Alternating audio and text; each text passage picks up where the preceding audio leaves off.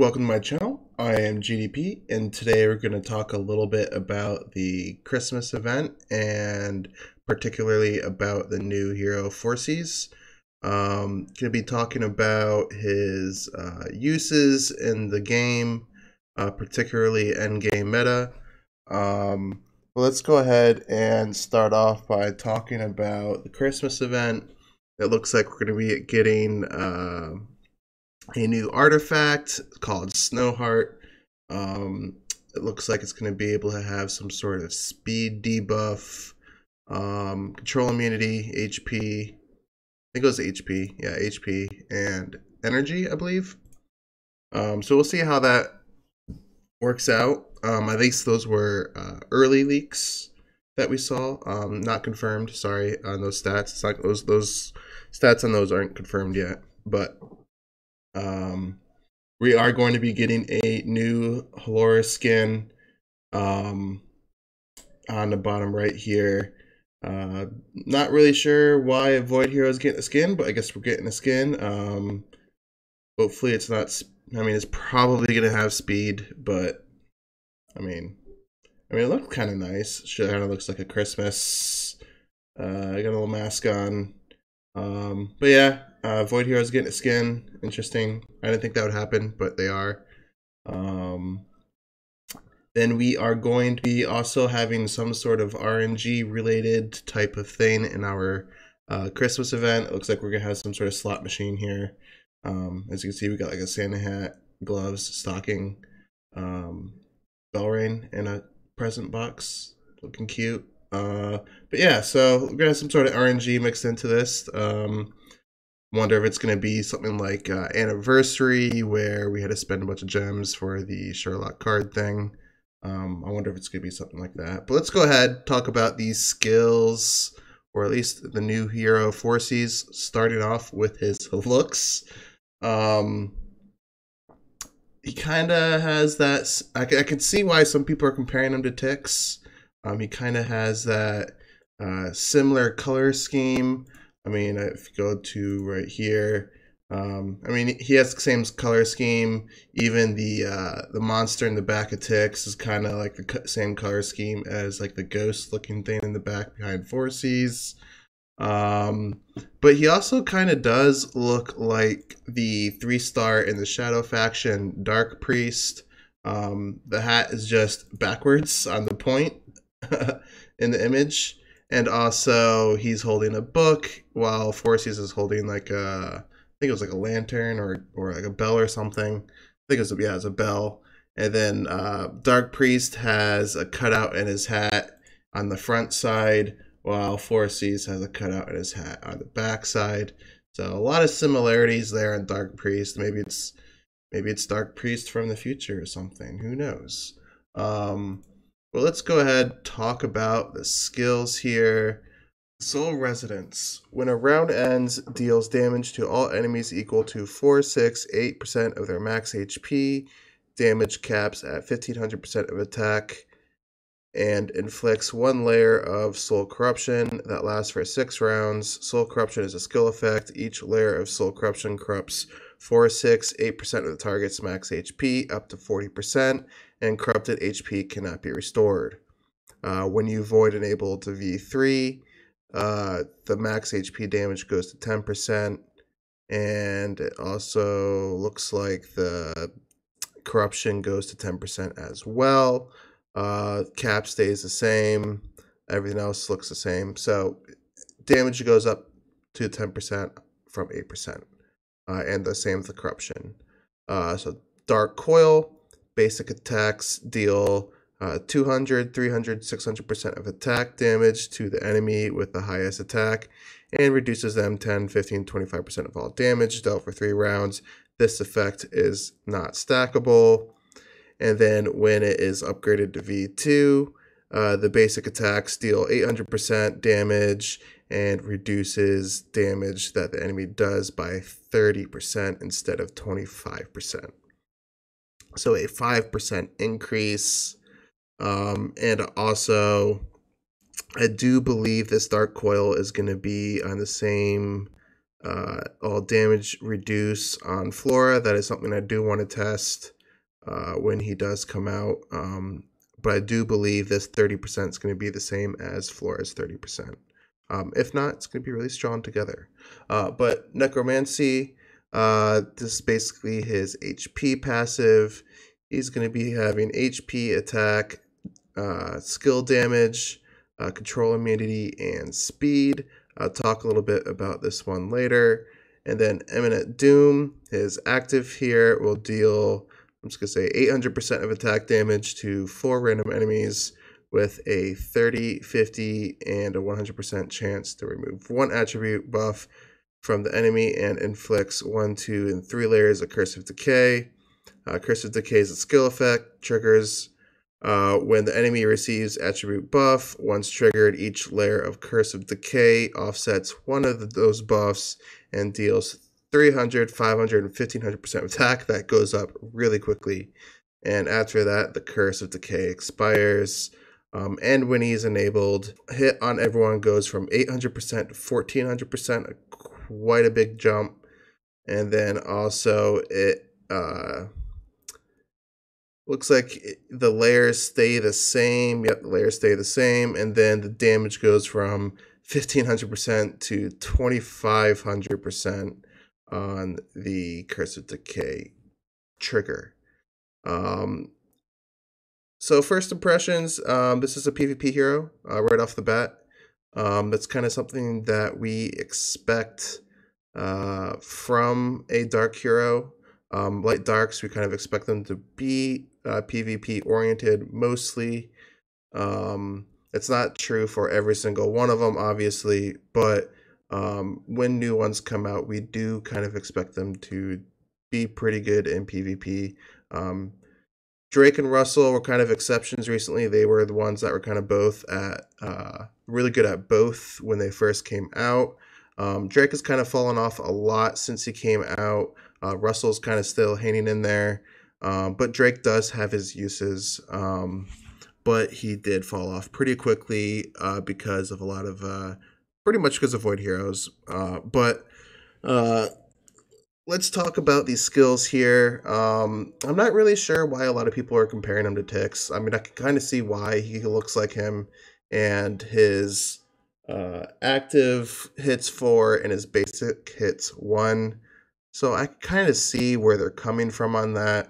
Uh, but the roles that these two heroes have are uh, Tix and Phorcys have are just completely different. Um, Phorcys kind of actually reminds me uh, a little bit about Ada a little bit more than Tix.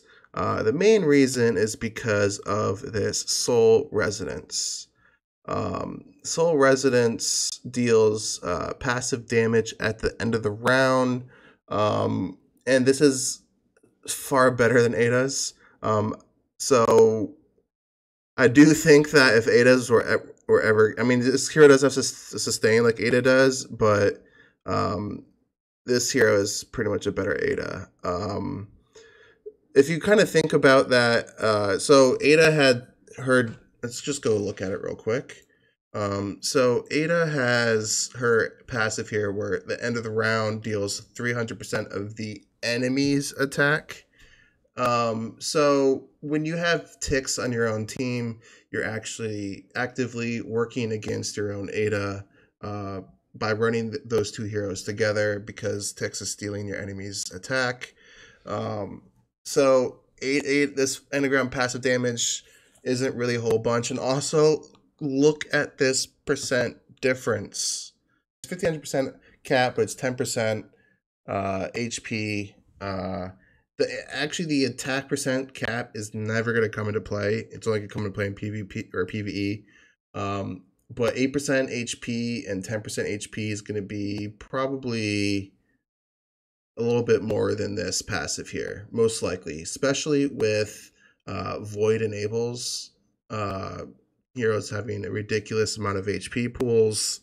Um, so Enderarm passive damage is going to do well once everyone is void imprinted. So keep that in mind. The longer this game goes on, the more people get stellar shards. Uh, this last passive is going to get more potent because enemies are going to be having higher HP pools. So um, I do think that is a good longevity kind of a part of his passive here. Um, and then the soul corruption is, I think, really, really good. Um, obviously, if you're limiting how much they can heal back, that's good. Um, it's kind of like healing reduction, but not. Um, it basically caps how much damage or how much HP they can be at full HP. Um, so, say for example, if they have 10 million HP uh, normally at the start of the battle, um, after a couple rounds, they will have a maximum HP of 6 million. And then if Phorcys the Sun ends up dying, they will get that 10 million back. Um, but it will drop down their maximum HP pool if they do get a heal. They can only go to 6 million instead of 10 million. So it'll be a little bit easier to kill them next time around. Um, uh, let's talk about the second passive here, or not the second, yeah, the second passive here. Uh, basic attack, quite a big number, especially at V2. Uh, 800% of attack is pretty large. I mean, this if this guy has a decent amount of attack, that's gonna be a lot of damage. Um, and then the all damage dealt reduction is going to be really really nice. Um, dam- all damage reduction is far superior than attack reduce when you're talking about mitigating damage for your own team. Uh, if you take away 30 or 30% of attack from Russell, you're you're only taking away a small portion of the formula on his active. So or whatever his his uh, arrows, whatever ends up being, um, you're only doing a small portion of the formula, while the all damage is the overall formula. So you're actually reducing more damage by going for the all damage, and it's going to be pretty massive. Um, this is one of the reasons why I thought Flora's could be really good. Having this all damage reduction is going to be pretty strong, uh, especially when high attack heroes are going to be uh, SFX, Russell, Tix, uh, Queen. All these heroes are high attack, so uh, I do think it's going to be a pretty strong debuff, um, especially if you're working uh, having a Tix on your own team where you're going to be able to switch your enemy's lowest or highest attack by stealing the other person's highest attack. So, say you put this debuff on SFX in round one, and your Tix hits SFX, steals attack, and then the next round you could possibly uh, put this debuff on someone else. So, uh, I think that's gonna be really good. It's gonna help reduce the chunk of damage coming in, all that burst. Um, and then the active here. Well, okay, let's talk about the the the stats here that he's getting. I don't know why he's getting skill damage. Um, seventy percent skill damage is is just I think just a slap in the face. I, I I don't know. Maybe they just decided to put it on, but he doesn't do dots. He doesn't that that skill damage is only really going to apply to one thing and that's it. So don't know why that's there. Holy damage would have been a lot better. Uh yeah, so kind of sad about skill damage. I mean, that's kind of just sus. Uh yeah, so that's all I gotta really say about that. Um he he has no natural DR, but he yeah he has no natural DR, so that's gonna be an issue for him. He has control immunity, but no natural DR, no sustain, so that's going to be an issue. Um, and then the active, uh, fourteen hundred percent at V four and eight hundred percent. That is a lot of damage. Um, but keep in mind, so when people are talking about, oh, he's kind of like Tix, Tix actually has multiple instances of hits. So when you're talking about popping unbending wills, you can clear through a lot more unbending will layers with Tix active than you can with this active. Um, now the side effects of that active though are vastly different. Um, Tix is more of a CC, while this is just hey, you buff yourself, you're taking damage. And by damage, I mean a ridiculous amount of damage. We're talking 1500% of attack up to 2500% of attack. If Phorcys has decent attack stat, that's going to be a lot, a lot, a lot of damage, especially against a Rogan in your team Rogan gives you both attack and crit each round, so that's going to hurt. Um, he also has you're not gonna be, you're not gonna be able to stop the speed buff, um, but you will be able to remove possibly that speed buff. So you're if you drop Rogans to run Phorcys, it's possible if you have a energy into him or if you do a feed, you will not have to worry about that speed advantage in the second round because you remove the speed bu- buff. Um, so this kind of, I feel like this hero kind of came out to control the buffs going out, kind of limit um, Rogan, I guess, in the meta. I think they, I think DH Games kind of saw Rogan would be an issue. Um, just always giving attack and crit and then giving the speed advantage.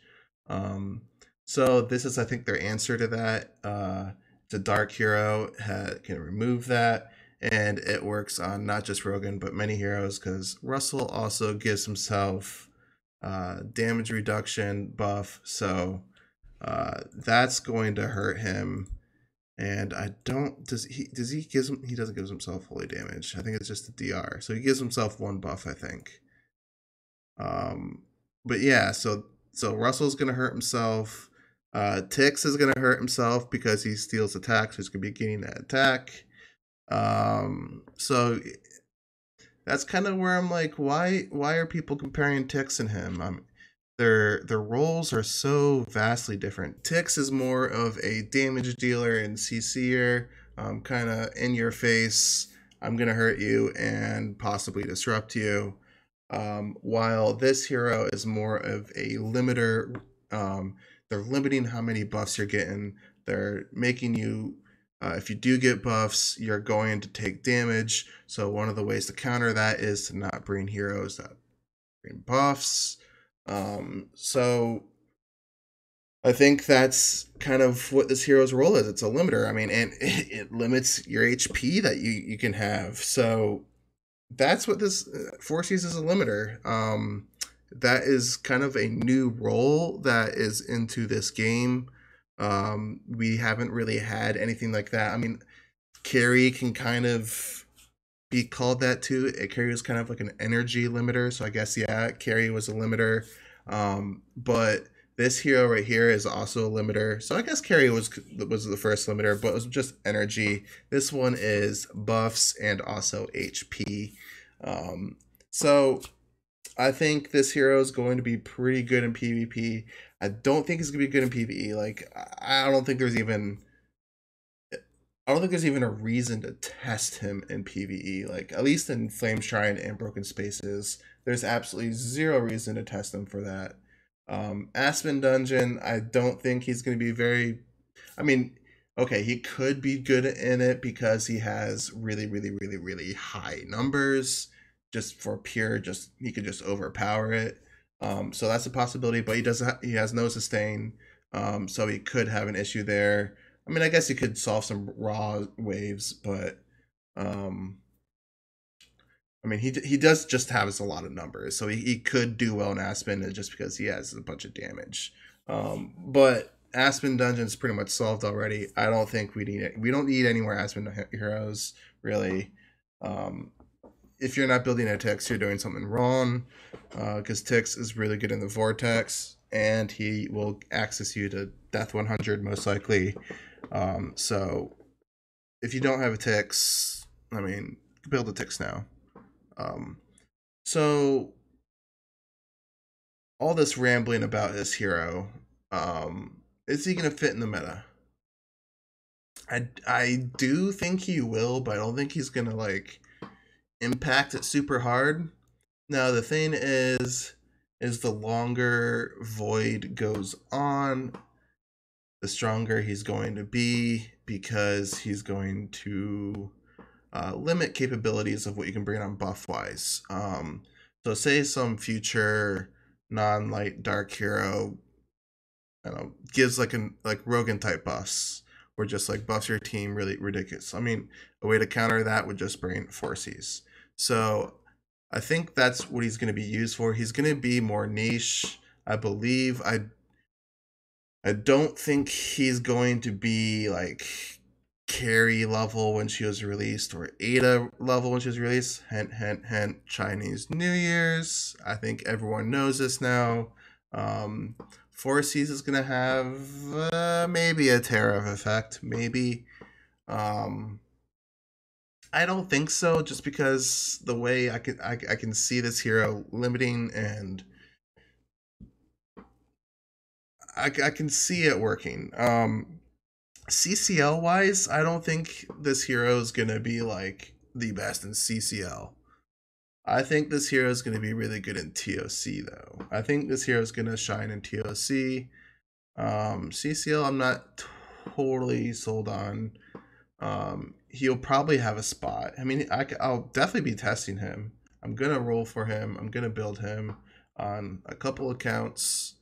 Um, so I'm gonna the account that you're seeing right now that's 3,000 scrolls. That's my old account.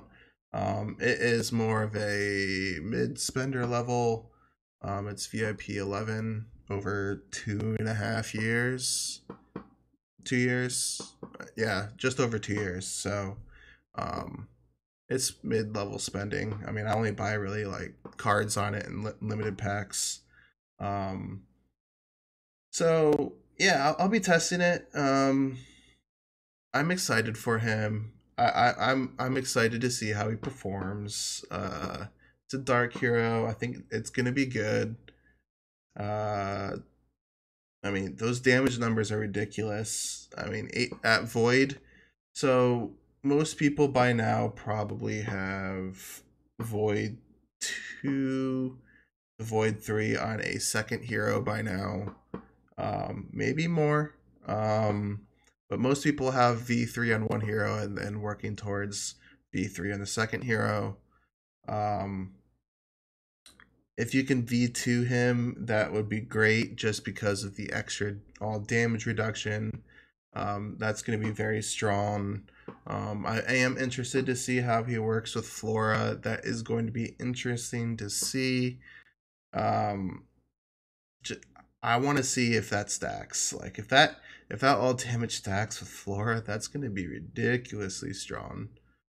Especially in combination with Olivia. Your enemies can be doing zero damage if you if if you're able to stack up Flora, Phorcys, and Olivia. If that if you're able to stack all those, that would just that would be some insane damage reduction. that would be pretty insane. Uh, you'd be taking nothing. Um, but yeah, so we'll see how it goes. I think he's gonna be straight up a PvP hero. I mean, T- TLDR. Um, I think he's be good. I think he's be not super good, but you'd be good. Uh, so I hope you guys enjoyed it. Um, a little bit more rambly than I usually am. Um, kind of had a lot of my mind on this guy. Um, I was kind of confused why a lot of people were comparing him to Tix when I don't even. I mean, it's aesthetically, yes, I can see him as he's got the same colors. He's got he hits four targets. He hits one target on basic. But so does Ada. Ada hits four random enemies. Ada hits one enemy on his on her basic. So if gonna compare heroes on how many times they hit. I mean, come on.